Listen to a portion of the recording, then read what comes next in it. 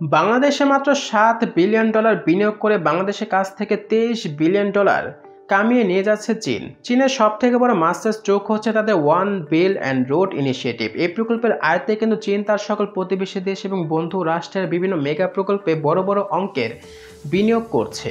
যেমন চীনের president Xi Jinping যখন সর্বপ্রথম দুই হাজার ষোলো সালে বাংলাদেশে আসেন, তখন কিন্তু উনি বাংলাদেশের সাতাশটি প্রকল্পে চব্বিশ বিলিয়ন ডলার বিনিয়োগ করার ঘোষণা দেন।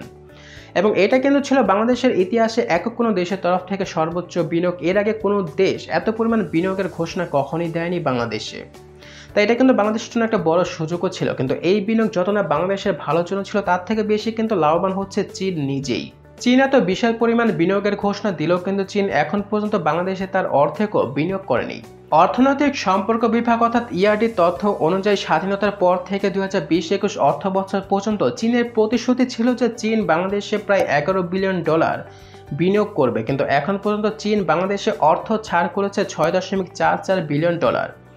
অন্যদিকে চীন কিন্তু শুধু সরকারি খাতে নয়, বিভিন্ন বেসরকারি খাতেও কিন্তু বিভিন্ন বেসরকারি প্রতিষ্ঠানও এখন ঋণ দিতে শুরু করেছে। বাংলাদেশ ব্যাংকের তথ্য অনুযায়ী চীন এখন পর্যন্ত বাংলাদেশে বেসরকারি খাতে ঋণ দিয়েছে দুই দশমিক তিন তিন বিলিয়ন ডলার, যার ফলে কিন্তু বাংলাদেশের সরকারি এবং বেসরকারি খাতে চীনের একটা আধিপত্য তৈরি হয়েছে এবং এই আধিপত্যকে কাজে লাগিয়ে কিন্তু চীন বাংলাদেশের কাছ থেকে ভরপুর কাজের অর্ডার নিয়ে যাচ্ছে। আমেরিকান এন্টারপ্রাইজ ইনস্টিটিউটের তথ্য অনুযায়ী চীন এখন পর্যন্ত বাংলাদেশে টোটাল বিনিয়োগ করেছে সাত দশমিক সাত বিলিয়ন ডলার, কিন্তু বাংলাদেশের কাছ থেকে চীনের ঠিকাদাররা কাজ পেয়েছে বাইশ দশমিক নয় চার বিলিয়ন ডলারের। চীন কিন্তু বাংলাদেশে বিদ্যুৎ ও জ্বালানি খাতে সব থেকে বেশি বিনিয়োগ করেছে। যেমন চীন কিন্তু এখন পর্যন্ত বাংলাদেশে বিদ্যুৎ ও জ্বালানি খাতে প্রায় তিন বিলিয়ন ডলারের মতন বিনিয়োগ করেছে। এবং এত পরিমাণ বিনিয়োগ করার ফলে কিন্তু এই বিদ্যুৎ ও জ্বালানি খাতে চীনের ঠিকাদারদের একটা আধিপত্য তৈরি হয়ে গিয়েছে এবং এই আধিপত্যকে কাজে লাগিয়ে কিন্তু এখান থেকে তারা আরও বেশি বেশি অর্ডার পাচ্ছে। যেমন মাত্র তিন বিলিয়ন ডলার বিনিয়োগ করে কিন্তু বিদ্যুৎ ও জ্বালানি খাত থেকে চীন এখন পর্যন্ত অর্ডার পেয়েছে নয় বিলিয়ন ডলারের। একইভাবে কিন্তু বাংলাদেশে পরিবহন ও যোগাযোগ খাতে চীন বিনিয়োগ করেছে দুই বিলিয়ন ডলার। কিন্তু এই খাত থেকে চীন অর্ডার পেয়েছে বা চীনের ঠিকাদাররা কাজের অর্ডার পেয়েছে আট বিলিয়ন ডলার। এভাবে বাংলাদেশে আবাসন, কৃষি খাতেও কিন্তু চীন প্রায় দুই বিলিয়ন, এক বিলিয়ন করে অর্ডার পেয়ে গিয়েছে।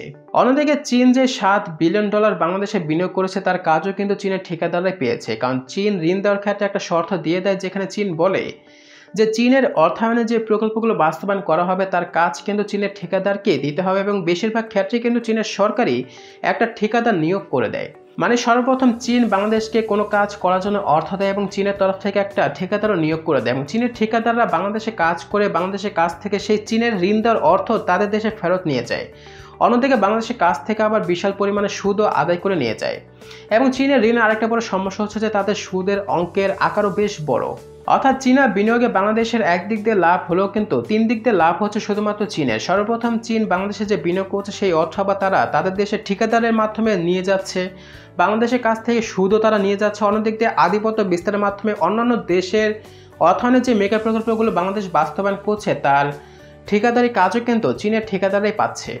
যেমন এশীয় উন্নয়ন ব্যাংক অর্থাৎ এডিপির অর্থায়নের মাধ্যমে ঢাকা বিমানবন্দর থেকে গাজীপুর পর্যন্ত যে বাস র্যাপিড ট্রানজিট লাইন তৈরি করা হচ্ছে, তার কাজও কিন্তু চীনের তিনটা ঠিকাদার পেয়েছে।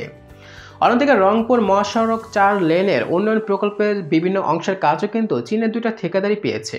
এভাবে বাংলাদেশের বিভিন্ন খাতে চীনের ঠিকাদারের আধিপত্য বেড়ে চলছে এবং আধিপত্যকে কাজে লাগিয়ে চীনের ঠিকাদাররা বাংলাদেশের কাছ থেকে কাজ নিয়ে যাচ্ছে। এখন চীন এত পরিমাণে কাজ পাচ্ছে, এতে কিন্তু আমাদের কোনো সমস্যা নেই। কিন্তু সমস্যা হচ্ছে যে এই ক্ষেত্রে আমরা কোনো দরপত্র আহ্বান করতে পারছি না।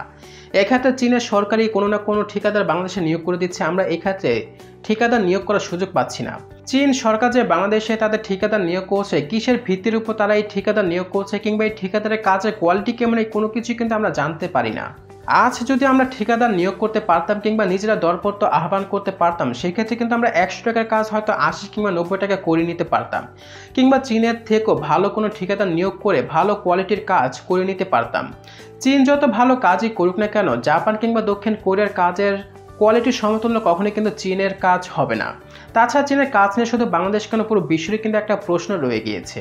এই খবরের ব্যাপারে আপনাদের মন্তব্য অবশ্যই কমেন্টের মাধ্যমে জানিয়ে দিবেন। আসসালামু আলাইকুম।